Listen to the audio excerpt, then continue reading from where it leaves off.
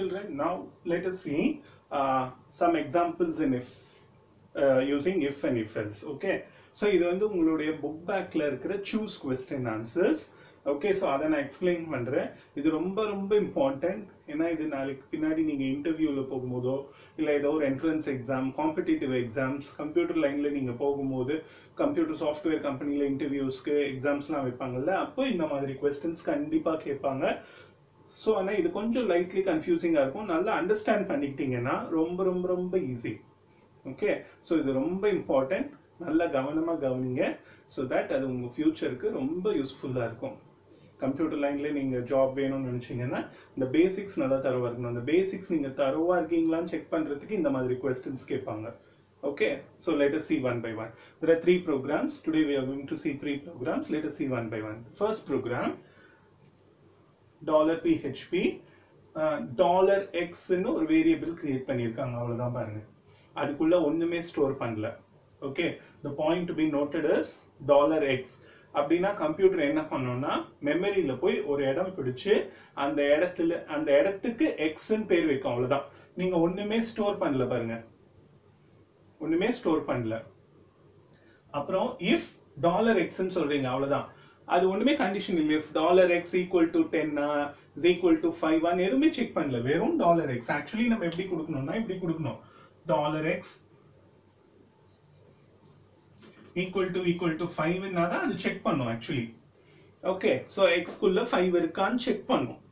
நம்ம ஏற்கனவே யூ- பார்த்துருக்கோம். Double is equal to simple use பண்ணால் தான் செக் பண்ணும். ஓகே ஆனால் அப்படியெல்லாம் எதுவுமே கொடுக்காம இவங்க இந்த ப்ரோக்ராம்ல என்ன கொடுத்துருக்காங்கன்னா வெறும் டாலர் எக்ஸ் ஸோ இதுதான் ஸ்லைட் கன்ஃபியூசிங் ஸோ அப்போ என்ன ஆகும்னா நீங்கள் ஒரு பாயிண்ட் நல்லா ஞாபகம் வச்சுக்கணும். வெறும் டாலர் எக்ஸ் கொடுக்குறீங்களே டாலர் எக்ஸ் கொடுத்தோன்னே கம்ப்யூட்டர் வந்து மெமரியில் போய் ஒரு இடம் பிடிச்சு அந்த இடத்துக்கு எக்ஸ்ன்னு பேர் வச்சிரும். பேர் வச்சுட்டு நீங்கள் ஒரு வேல்யூமே கொடுக்கலன்னா அது ஜீரோன்னு ஸ்டோர் பண்ணிக்கும் அதில் டிஃபால்ட்டாக ஓகேவா ஸோ என்ன ஸ்டோர் பண்ணிக்கும்? ஜீரோ இப்போ எக்ஸ்குள்ள என்ன இருக்கு? ஜீரோ ஓகே ஸோ எக்ஸ்குள்ள என்ன இருக்கு? ஜீரோ நீங்க ஒன்றுமே வேல்யூ ஸ்டோர் பண்ணலன்னா it will take it as zero so இப்போ நீங்கள் டாலர் எக்ஸ் சொல்லியிருக்கீங்க. ஸோ அப்போ கம்ப்யூட்டர் மெமரியில் போய் ஒரு இடம் பிடிச்சிட்டு அந்த இடத்துக்கு எக்ஸ்ன்னு பேர் வைக்கும். அந்த இடத்துல என்ன வேல்யூ ஸ்டோர் ஆகிருக்கும் ஜீரோ ஸ்டோர் ஆகிருக்கும் ஸோ இப்போ இங்கே வருது. இஃப் டாலர் எக்ஸ் டாலர் எக்ஸ்னா என்னன்னா கண்டிஷன் செக் பண்ண சொல்கிறோம் எப்போவுமே இஃப் கண்டிஷனில் ஒன்று ட்ரூவாக இருக்கணும் இல்லை ஃபால்ஸாக இருக்கணும். சொல்லியிருக்கேன். So true means always one false means always zero இதை நல்லா ஞாபகம் வச்சுக்கோங்க. Okay true means one okay and then false means zero so அது வந்து எப்போவுமே ஞாபகம் வச்சுக்கோங்க. ஸோ இப்போ டாலர் எக்ஸ்ன்னு சொல்கிறீங்க அப்போ டாலர் எக்ஸ்குள்ள என்ன இருக்குது zero zero means false zero means false okay so அப்போ ஃபால்ஸ்னால் எங்கே வரும்? டைரக்டா எல்ஸ்குள்ள வருமா? அப்போ என்ன பிரிண்ட் ஆகும்? ஹவு ஆர் யூ ஸோ என்ன பிரிண்ட் ஆகும்?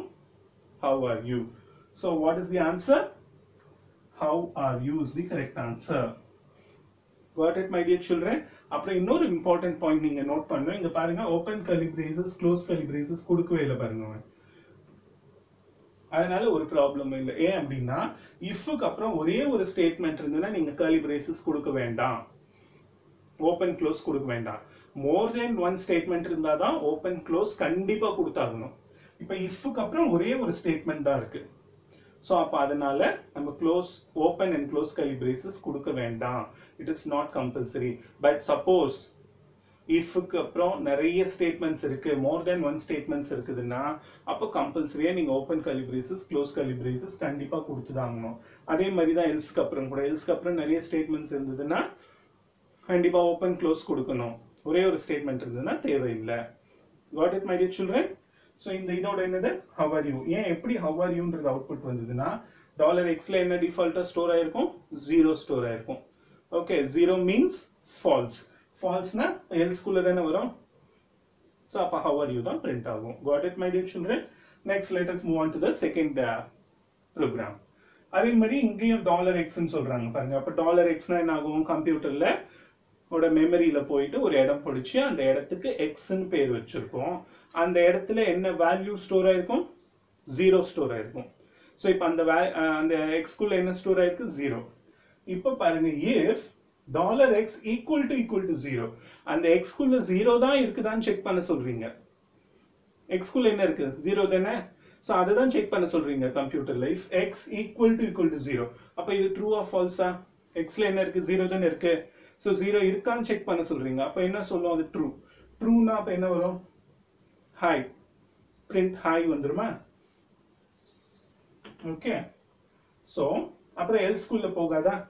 எல் போகவே போகாது. இப்போ கேர்லி பிரேசஸ் ஓப்பன் க்ளோஸ் இல்லைன்னா ஒரே ஒரு ஸ்டேட்மெண்ட் தான் அது எல்ஸ் இப்போ எல்ஸுக்கு உண்டான ஸ்டேட்மெண்ட் இது மட்டும்தான். இது கிடையாது. இது எல்ஸுக்கு வெளியில இருக்கிறது. எப்படி அது கம்ப்யூட்டர் அண்டர்ஸ்டாண்ட் பண்ணிக்கோன்னா நீங்க கேர்லி பிரேசஸ் கொடுக்கலன்னா ஃபர்ஸ்ட் ஸ்டேட்மெண்ட் மட்டும்தான் எல்ஸுக்கு உண்டானது. செகண்ட் ஸ்டேட்மெண்ட் வந்து அது எல்ஸுக்கு வெளியில் இருக்கிற மாதிரி அது அண்டர்ஸ்டாண்ட் பண்ணிக்கும். ஸோ இப்போ இது ரெண்டுமே எல்ஸ்குள்ளே இல்லை. இந்த ஒரே ஒரு ஸ்டேட்மெண்ட் மட்டும்தான் எல்ஸ்குள்ளே இருக்குதுன்னு அர்த்தம். ஏபிள் டு அண்டர்ஸ்டாண்ட் சொல்கிறேன் ஏன்னா open and close curly braces கொடுக்கலன்னா அந்த எல்ஸ்க்கு அப்புறம் எல்ஸ்க்கு அப்புறம் இருக்கிற ஃபஸ்ட்டு ஸ்டேட்மெண்ட்டை மட்டும்தான் அது எல்ஸுடைய ஸ்டேட்மெண்ட்டாக எடுத்துக்கும். அதுக்கப்புறம் இருக்கிற செகண்ட் ஸ்டேட்மெண்ட்டை வந்து எல்ஸுக்கு வெளியில் இருக்கிற ஸ்டேட்மெண்ட்டாக எடுத்துக்கும். Understood my dear children so அப்போ இப்போ என்ன வரும்னா ஸோ எக்ஸில் என்ன ஸ்டோர் ஆயிருக்கும்? நீங்கள் ஒன்றுமே ஸ்டோர் பண்ணலன்னா ஜீரோ ஸ்டோர் ஆயிருக்கும். ஸோ அதை தான் இங்கே செக் பண்ணுறீங்க எக்ஸில் ஜீரோ தான் இருக்குதான்னு செக் பண்ணுறீங்க அப்போ என்னது இது ட்ரூவா ட்ரூவா இருந்தால் அப்போ என்ன? பிரிண்ட் ஆகும். ஹாய் பிரிண்ட் ஆகிடும் அப்போ எல்ஸ் ஸ்கூலில் போகாதா? எல்ஸோட இது இது மட்டும்தானே எல்ஸு அப்போ இது பிரிண்ட் ஆகாது. ஓகே ஆனால் எல்ஸுக்கு வெளியில் இருக்கிறது பிரிண்ட் ஆகுமா? நான் ஏற்கனவே சொல்லியிருக்கேன். எல்ஸ்குள்ள மட்டும் தான் போகாது. எல்ஸ்க்கு அப்புறம் எதுனா ஸ்டேட்மெண்ட் இருந்ததுன்னா எக்ஸிக்யூட் ஆகும்னு சொல்லியிருக்கேன்னா இப்போ எல்ஸுக்கு வெளியில என்ன இருக்கு? ஹலோ ஸோ ஹலோ பக்கத்துலேயே தான் பிரிண்ட் ஆகும். ஏன்னா இங்க ஸ்லாஷ் என்னு கொடுத்தா மட்டும்தான் புது லைன்ல பிரிண்ட் ஆகும். ஸ்லாஷ் என் கொடுக்கலன்னா அதே லைன்ல தான் பிரிண்ட் ஆகும். அப்போ என்னது? ஹாய் ஹலோ ஸோ அப்போ இந்த ப்ரோக்ராமுடைய அவுட்புட் என்னது? Hi hello I repeat again so when you don't store any value inside a variable, zero will be stored. And then you're checking whether zero is there inside x. It is true. So true means it will come here, it will print high. And it will not go to else at all. else உடையது இந்த ஒரே ஒரு statement மட்டும்தான் எல்ஸுக்கு உண்டானது so எல்ஸுக்கு உண்டானது அது execute பண்ணாது ஏன்னா இஃப்குள்ள போயிடுச்சு அதனால எல்ஸ்குள்ள போகவே போகாது அப்புறம் எல்ஸுக்கு அப்புறம் என்ன இருக்குது பிரிண்ட் ஹலோ ஸோ அது பிரிண்ட் ஆகும் எங்கே பிரிண்ட் ஆகும் பக்கத்துலேயே பிரிண்ட் ஆகும் ஸ்லாஷ் என்னன்னு கொடுத்தா மட்டும்தான் அடுத்த லைனில் பிரிண்ட் ஆகும். ஸ்லாஷ் என் கொடுக்காதனால பக்கத்துலேயே பிரிண்ட் ஆகும். ஸோ அப்போ ஹாய் ஹலோன்னு தான் correct answer got it my dear children now let's move on to the next program the third one it is also very very important so இப்போ இங்கே என்ன பாருங்க? எக்ஸ்ன்னு ஒரு வேரியபிள் கிரியேட் பண்ணியிருக்கான். அதுக்குள்ள zero so what the computer will do computer will go to the memory அதில் மெமரிக்கு போயிட்டு ஒரு இடம் பிடிச்சு அந்த இடத்துக்கு எக்ஸ்ன்னு ஒரு பேர் வச்சுட்டு அந்த இடத்துல என்ன ஸ்டோர் பண்ணுறாங்க ஜீரோனே ஸ்டோர் பண்ணுறாங்க ஜீரோனே ஸ்டோர் பண்ணுறாங்க அதுக்கப்புறம் if dollar x plus plus increment operator decrement operator படித்தோம்ல if X plus plus அப்படின்னா என்ன ஆகும்? எக்ஸில் இருக்கிறது ஒன் ஆட் ஆகுமா? இப்போ எக்ஸ் வந்து ஒன் ஒன் ஆயிடணும்ல. அங்கே தான் ஒரு சின்ன ட்ரிக் இருக்குது என்ன ட்ரிக் அப்படின்னா இப்போ எக்ஸில் என்ன இருக்குது ஜீரோ தான் இருக்கு. Suppose consider this as your memory மெமரியில் எக்ஸ்னு ஒரு இடம் அந்த எக்ஸ்குள்ளே ஜீரோ ஸ்டோர் ஆயிருக்கு. ஸோ நான் ஏற்கனவே சொல்லியிருக்கேன்.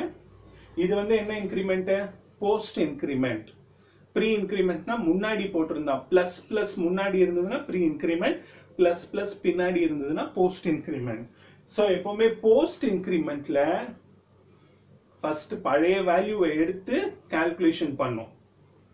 பழைய வேல்யூ தான் கால்குலேஷனுக்கு எடுத்துக்கும். Able to understand okay so இப்போ எக்ஸ்குள்ள என்ன இருக்கு? ஜீரோ இருக்கு.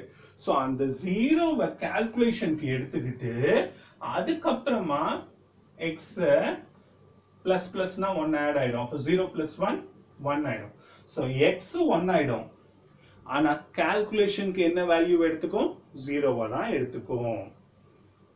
Able to understand so post இன்க்ரிமெண்ட்ல எப்பவுமே எக்ஸோடைய வேல்யூ என்னவோ அந்த வேல்யூவை கால்குலேஷனுக்கு எடுத்துக்கும். எடுத்துக்கிட்டு அதுக்கப்புறமா எக்ஸ் வந்து ஒன் ஆட் ஆகும். ஸோ இப்போ எக்ஸோட வேல்யூ என்னது? ஜீரோ ஸோ ஜீரோவை தான் இப்போ கால்குலேஷனுக்கு எடுத்துக்குது.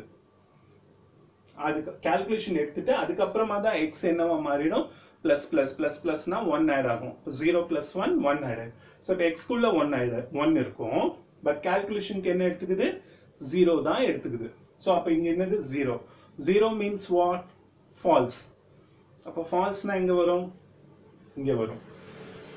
இப்போ பிரிண்ட் என்ன பிரிண்ட் ஆயிருக்கும்? ஹவ் ஆர் யூன்றது பிரிண்ட் ஆகும்.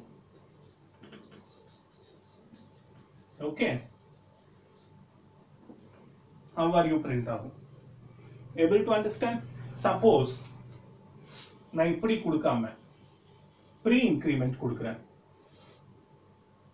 பிளஸ் பிளஸ் டாலர் எக்ஸ் அப்போ என்ன ஆகும்னா ஓகே ஸோ இப்போ வந்து ஃபர்ஸ்ட் இன்க்ரிமெண்ட் ஆயிட்டு அதுக்கப்புறம் வேல்யூவை கால்குலேஷனுக்கு எடுத்துக்கும் ப்ரீ இன்க்ரிமெண்ட்னா போஸ்ட் இன்க்ரிமெண்ட்னா ஃபர்ஸ்ட் வே அதில் என்ன வேல்யூ இருக்கோ அது அப்படியே கால்குலேஷனுக்கு எடுத்துக்கிட்டு அதுக்கப்புறமா அது வந்து ஒன்னாக ஆட் ஆகும். மெமரியில் மட்டும் அது ஒன்னாக மாறி இருக்கும். ஓகே சொல்கிறேன் பட் ப்ரீ இன்க்ரிமெண்ட்டில் அது இன்க்ரிமெண்ட் ஆயிட்டு அதுக்கப்புறம் இருக்கிற வேல்யூவை தான் அது கால்குலேஷனுக்கு எடுத்துக்கும். இது நம்ம ஏற்கனவே பார்த்துருக்கோம். ஓகே ஸோ இப்போ ப்ளஸ் ப்ளஸ் டாலர் எக்ஸ்னா இப்போ டாலர் எக்ஸில் என்ன இருக்குது ஜீரோ புதுசாக இப்போ ஃபர்ஸ்ட்லேருந்து வரலாம். இப்போ dollar x is equal to ஜீரோனா dollar எக்ஸ்னு ஒரு வேரியபிள் கிரியேட் ஆகிட்டு அதில் என்ன ஸ்டோர் ஆயிருக்கு? ஜீரோ ஸ்டோர் ஆயிருக்கு. இப்போ ப்ளஸ் ப்ளஸ் எக்ஸ்னா ப்ளஸ் ப்ளஸ் முன்னாடி இருக்கிறதுனால ஃபர்ஸ்ட் ஆட் ஆயிடும். ஸோ ஆட் இப்போ எக்ஸ் என்னவாயிடும்? ஒன் ஆயிட்டு இப்போ இந்த ஒன்னை தான் கால்குலேஷனுக்கு எடுத்துக்கும். Able to understand? So இப்போ one means what? true. One means what? true. true னா அப்ப இங்க என்ன வரும்? வித் ஹை ஸோ இப்போ உங்களுக்கு டிஃப்ரென்ஸ் புரியுதா? போஸ்ட் இன்க்ரிமெண்ட்க்கும் ப்ரீ இன்க்ரிமெண்ட்க்கும் ப்ரீ இன்க்ரிமெண்ட்ல ஃபர்ஸ்ட் இன்க்ரிமெண்ட் நடக்கும். Increment means one will be added என்ன வேல்யூ இருக்குதோ அது கூட ஒன் ஆட் ஆயிட்டு அப்புறம் அந்த புது வேல்யூவை கால்குலேஷனுக்கு எடுத்துக்கோங்க ப்ரீ இன்க்ரிமெண்ட்ல பட் இந்த கேஸ் ஆஃப் போஸ்ட் இன்க்ரிமெண்ட் பழைய வேல்யூவை கால்குலேஷனுக்கு எடுத்துக்கும் பட் ஆனால் மெமரியில் அப்புறமா ஒன் ஆட் ஆகும். Able to understand? ஸோ இந்த ப்ளஸ் ப்ளஸ் முன்னாடி இருக்கிறதுனால தான் இது ஒன்னு அதோடைய புது வேல்யூ ஒன்னு இருக்கு சப்போஸ் ப்ளஸ் ப்ளஸ் பின்னாடி இருந்தா அதோடைய பழைய வேல்யூ என்ன? ஜீரோ ஸோ பழைய வேல்யூவை தான் கால்குலேஷன் இருக்கும். ஜீரோ மீன்ஸ் ஃபால்ஸ் ஃபால்ஸ்னா இங்கே வந்துடும் ஹவர் யூ பிரிண்டாக இருக்கும். இது பிரகாரம் இங்கே பிரிண்ட் ஆகும். Able to understand thank you children